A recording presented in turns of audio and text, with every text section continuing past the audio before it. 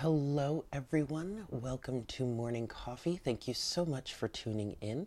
So, this is going to be a general energy reading for Tuesday, March 12th, 2019. This is a general reading, so please take what resonates and leave what doesn't. And this is not specific to anything not love, not a sign, not career, not nothing. this is just what Spirit would like to discuss with us today. So, because energies are fluid, this could be something that you're going through right now. It could be something from the past. It could be something coming up in the future, or it may not resonate with you at all. Either way, use your own discretion and take what resonates and leave what doesn't. Yeah? I hope everyone's having a good week so far. it is Tuesday a reading just didn't feel right yesterday, so I just didn't do one. I'm learning to just follow the energy um, and not necessarily force a reading to come through for the day if there really isn't one resonating. Today feels right, so here we are. Yeah? All right, so let's get to it. Hmm.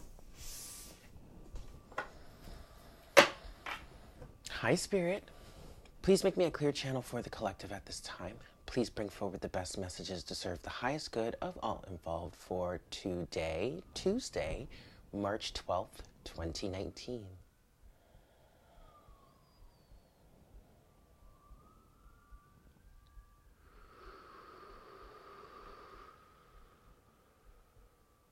Thank you so much, Spirit. I don't know if if you guys could hear it, but Mark, Ar- Ar- Archangel Michael made a little bit of an appearance already. It might have been too far away for the mic the microphone to pick it up, but I heard it, and I took notice of it, so I wanted to point it out to you guys.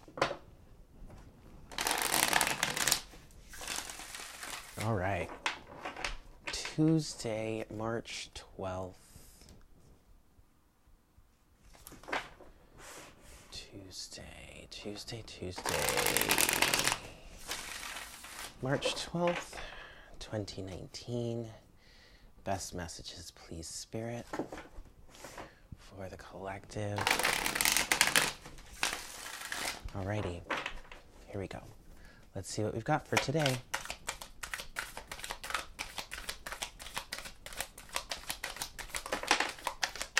Six of Cups. Hmm.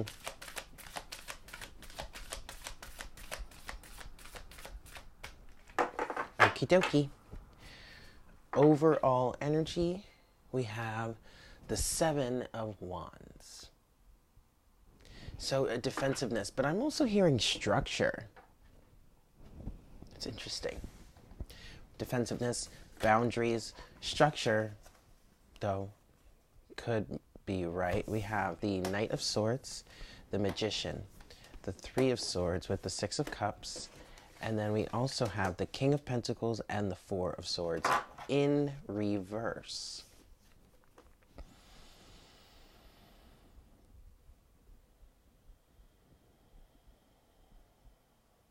All right. So, the name of the game right now, or at least in this situation, this is all about boundaries, having greater boundaries.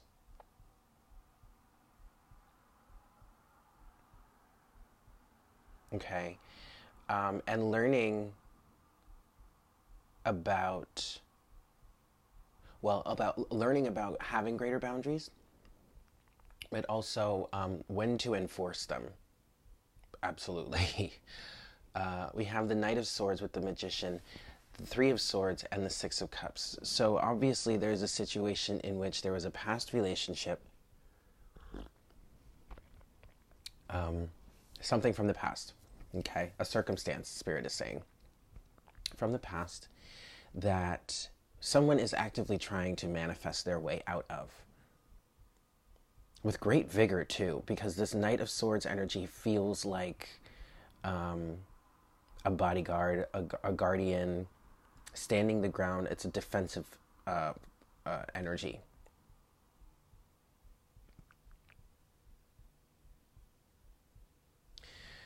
Mm, okay, well, we can see this two ways. We can either see this as one, the top card, the, I'm sorry, the top cards or the top row here is someone working on manifesting their way out of a relationship from the past or a circumstance from the past that was really quite heartbreaking. And standing up for themselves and really, you know, putting some hard boundaries in place because the person that was involved here um, is represented by the King of Pentacles, is very materialistic, ego driven, money driven, status, fame driven, maybe not too grounded either. Um, illusions of grandeur, I'm seeing, very sure of himself, probably, you know, very, well, not necessarily sure of themselves, more full of themselves. Okay? And someone is working on manifesting their way away from this type of person, that could be it. But the but actually the biggest thing that I'm seeing here is this is this person that we're talking about here. Up here the top row is this person represented by the king of swords i'm sorry the king of pentacles in reverse coupled with the four of swords in reverse.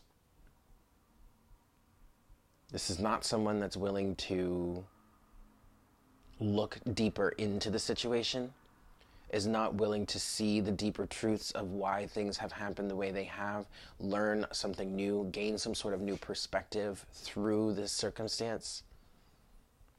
Now, this person here, represented by the King of Pentacles, has been heartbroken, and most likely from as when they were a child. Three of Swords, Six of Cups. Most likely when they were a child, but it doesn't have to be. I mean, it could be at any point in their past uh, Spirit is also saying maybe potentially even in their recent history they've been hurt with the Three of Swords energy. And so now, as a result, I don't feel like they are um, with this king. I'm sorry, that this Knight of Swords here. I don't feel like they communicate very well, if at all. If they do communicate, it's probably really blunt, really brash, harsh, combative.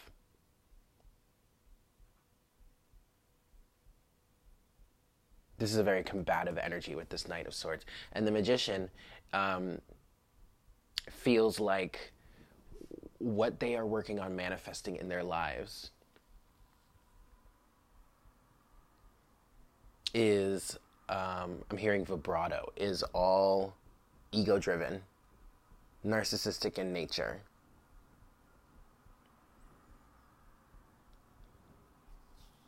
Um, and there are some heavy, there are some hard boundaries. Seven of Wands here, but also that could be Spirit's way of saying to whomever is dealing with this person or is connected with this person to maintain your boundaries within this. You know what I mean? Like, because this feels very toxic. Now, this is we are no stranger to these types of energies or relationships um, on this channel in this group of us you know that you know we're no stranger to this type of energy. So the one thing so so this is not anything new okay? But the one thing that's standing out in my in my opinion that i want to convey here is that yes, this person may be reversed, may be very egotistical, may be very money driven, financially driven, uh, possessions, uh, fame, fortune, whatever. Maybe they may be driven by this sort of energy, but intrinsically, that's not who they are.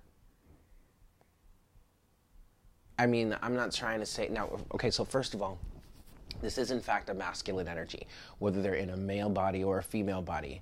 Um, and this could really be this could be a friend of yours um, or like an old friend an old acquaintance someone that um, you used to work with like a business associate a business partner a creative partner whatever and for the most part i feel like some of you have been kind of on the fence about what do you do with this person should I leave them behind? Should I continue to include them in my life?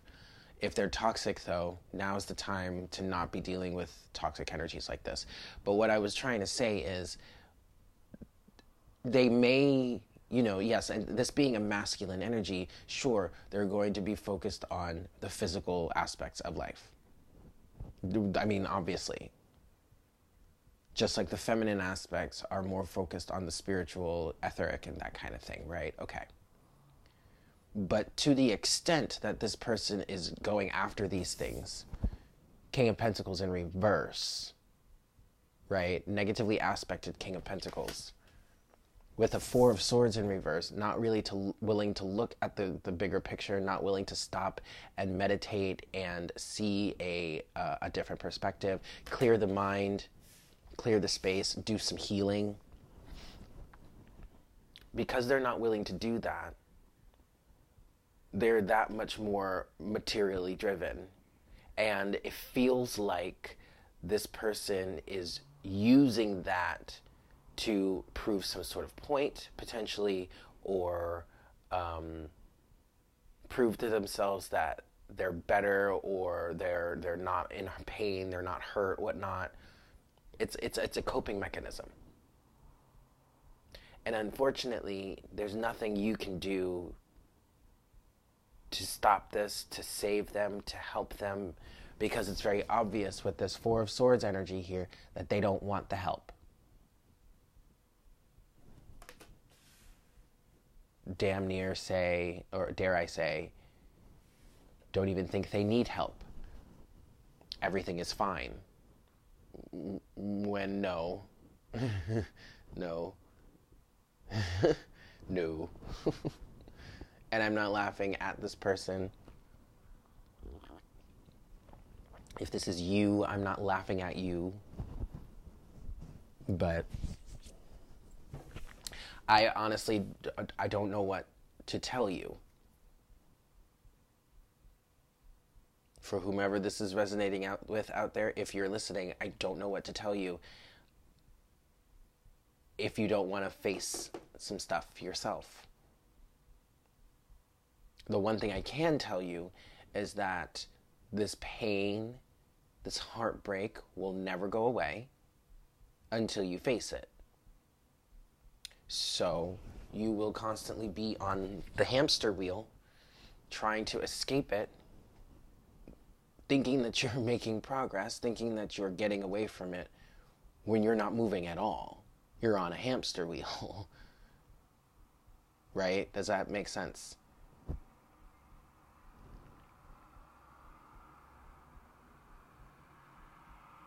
Okay, let's get into some clarification now.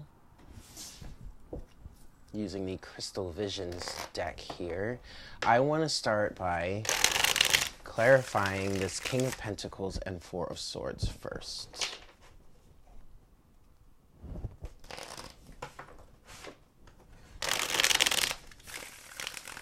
One more shuffle, and then we'll see what we've got here.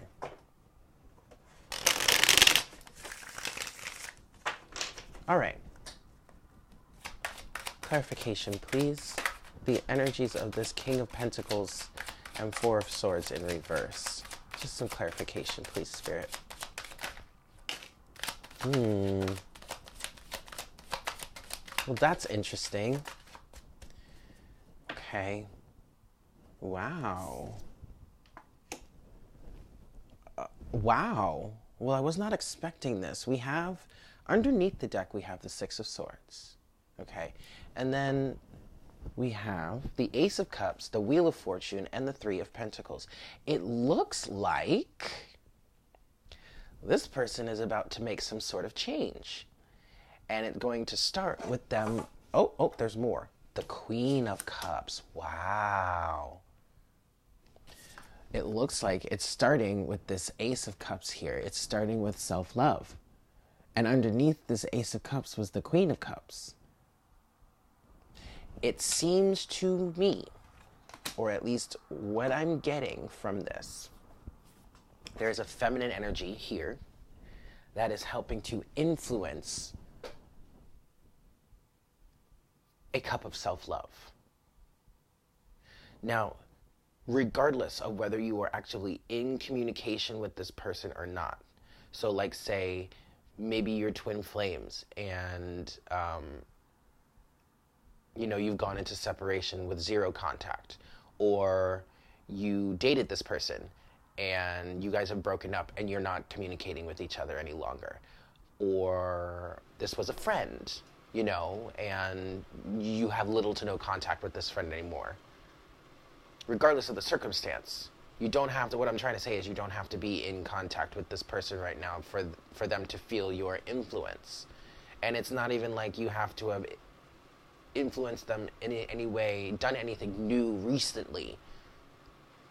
This could just be residual from the past when you were in their lives, when you were loving, um, giving them love and support and compassion, being compassionate with them, you know, being giving, being caring, being nurturing and that kind of thing. All of that stuff that the Queen of Cups represents. It is, in fact, influencing this person to make some sort of change within themselves, to love themselves more, to honor themselves more. And it has a lot to do with the fact, with the, with the kind of the energy of, well, no matter what, even though things, you know, may have ended poorly or we just stopped talking to each other, whoever is represented by the Queen of Cups here, this person like still loved me and still tried to help me no matter what I did. Which eventually would translate into feeling lovable, and thus the karmic wheel starts to spin in a new direction. Wheel of Fortune, change, and self mastery comes into play. Three of Pentacles. So it's looking like.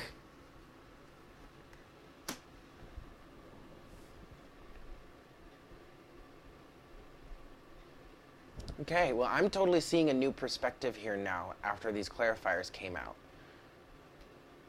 Because the King of Pentacles in reverse with the Four of Swords in reverse, um, being really money driven, ego driven, and materialistic and all that, and not wanting to see a bigger picture, not wanting to see a new perspective, that was the past. Apparently, moving forward, there's big change coming. and it's in the form of self love here. Ace of Cups. That's really beautiful.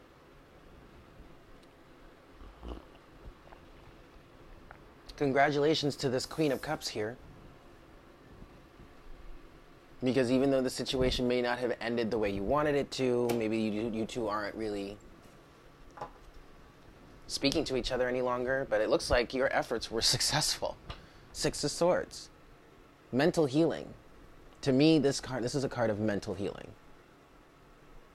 Six is a number of healing, harmony, balance and this is swords, so it's the mind. And the six of swords represents um, moving from rougher waters to calmer waters. So there's a sense of healing there. And then also the crows on this card. You see the top of the card, the blackbirds. Those, to me, look like or sim- can symbolize crows, which are energies of change, transformation, death. You can even say. All right. So now let's get a little bit of clarity into this energy of the Knight of Swords, the Magician, the Three of Swords, and the Six of Cups. Let's get some clarity on this, please, Spirit.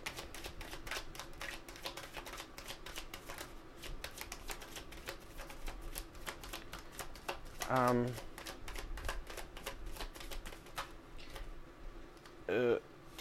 let it fall out. Okay, wow, look at that. The Seven of Wands again.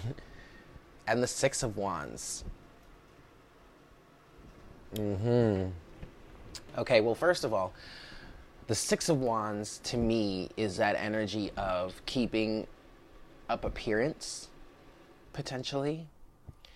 And um, so there's definitely a little bit of that going on. I would not, I, I, am not going to lie.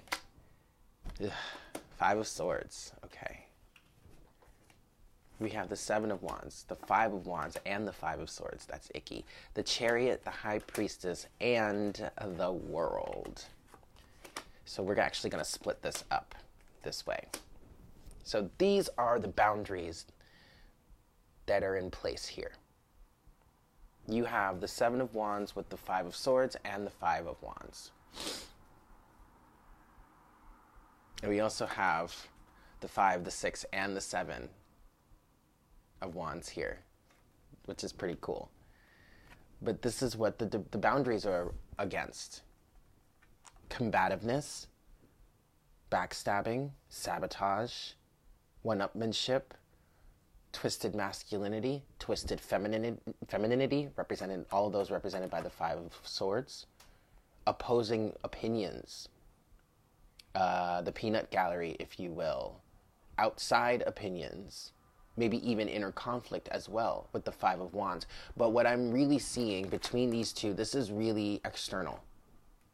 This is all the external influence that helped to create whatever heartbreak this person had been through in their lives, okay?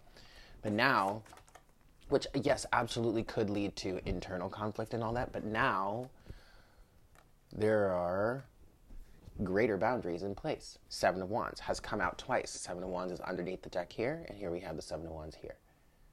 All right, so there is a defensiveness, there's a guardedness from this type of energy this type of influence. Okay? And then we move on to the chariot, the high priestess, and the world. Or I guess, technically, we could put it this way the high priestess first, because there is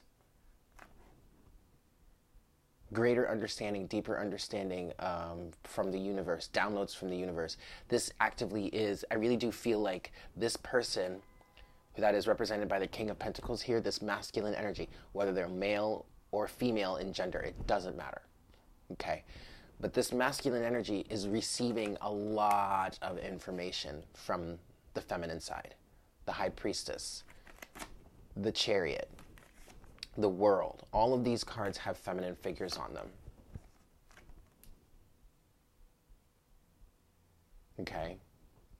So their feminine side is really starting to influence them. They're starting to learn a lot. They're starting to get some deeper insights from the universe. The high priestess, to me, often um, talks about receiving downloads of higher wisdom universal wisdom. And this is not this is non non denominational. This is not religious or anything like that. It's pure spiritual knowledge. Information about the laws of the universe, you know, the law of attraction, the law of cause and effect, the law of free will, all of that stuff. And starting to understand them, which is helping helping to propel this person forward here with the chariot in a brand new direction with brand new passion, excitement, exuberance, and it's bringing a close. Spirit just said to a karmic cycle, to this karmic cycle. Wheel of Fortune, to this karmic cycle. It's bringing a close to it. And then, so now, the Six of Wands actually can also mean victory, overcoming the obstacles here climbing the mountain, reaching the peak, reaching the summit. This is really great. Now, like I said before, whoever is represented by this Queen of Cups energy, yes, you have in fact catalyzed, helped this person grow, regardless of whether you are actively seeing it or not, regardless of whether they are a part of your lives anymore or not you have helped to influence this change. So, congratulations. Now, that does not mean that they're going to come back to you. It does not mean that, I mean, for the most part, you know, if this is resonating with people the way a lot of other readings ha- may have been, and I mean by like from other readers, if this is falling in line with your situation and this reading is resonate with some other readings you may have watched, they're probably pretty intimidated by you. So it's one thing, like it's it's hard enough for this change to be made, for this person to decide to go within and see the bigger picture, make some change or whatnot. It's a whole other thing for them to get up the courage to now approach you and say, you know, apologize or ask to start over or whatnot, whatever. Now, I'm not saying it's impossible. Okay? But what I am saying is give it time and release any forms of expectation. Like, don't sit here listening to this reading and say, oh, great, well, then that means that they should be coming around soon. No. Release the expectation. Be grateful for the fact that this person is going through, is finally starting to go through a deeper sense of healing and is coming out on top. Okay? Okay. Let's get into some oracle guidance here. And I do want to get some oracle from the uh, animal spirit guides today. And then we're going to. Um, and then we're going to close the reading with something. I just don't know what yet.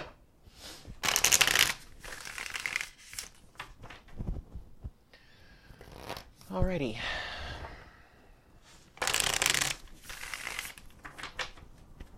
All right, animal spirits, what do you have for us today?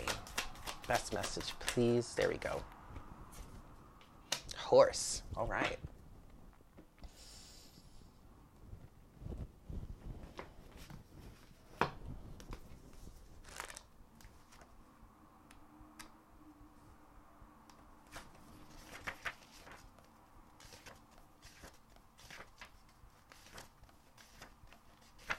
Where are you, horsey horse? There you are.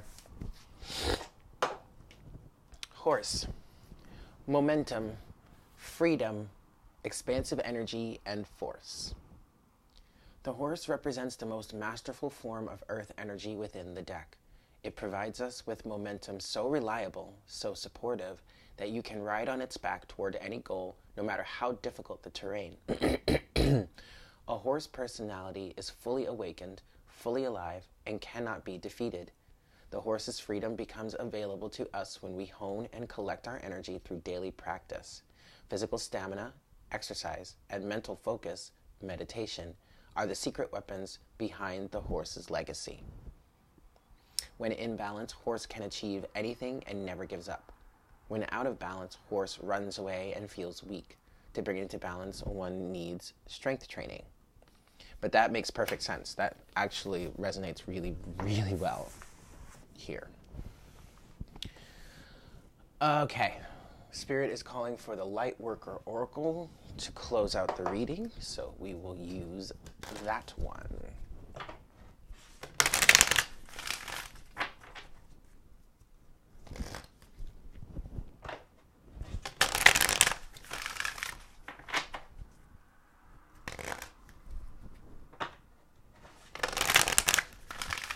Alrighty, guys. Here we go. Best message, please, Spirit, to close out today's reading. Best message, please. There we go. Card number 12 Eternal Now.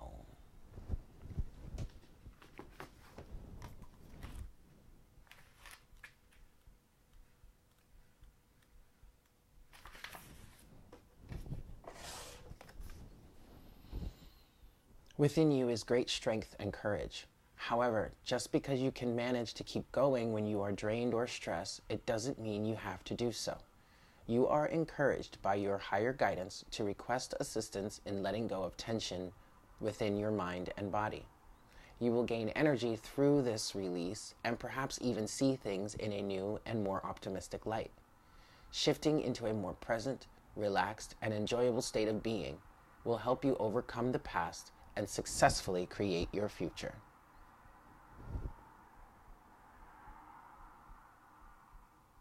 That's excellent. All right, guys. So there you have it. Thank you so much for tuning in. I hope everyone has a really fantastic day. Um, I may be doing happy hour tonight. Stay tuned. I will announce it. I will let you guys know. Um, but other than that, I love you all so much. Thank you for tuning in. And I look forward to connecting with you again for our next cup of coffee tomorrow morning. Yeah. Take care. Mwah. Bye.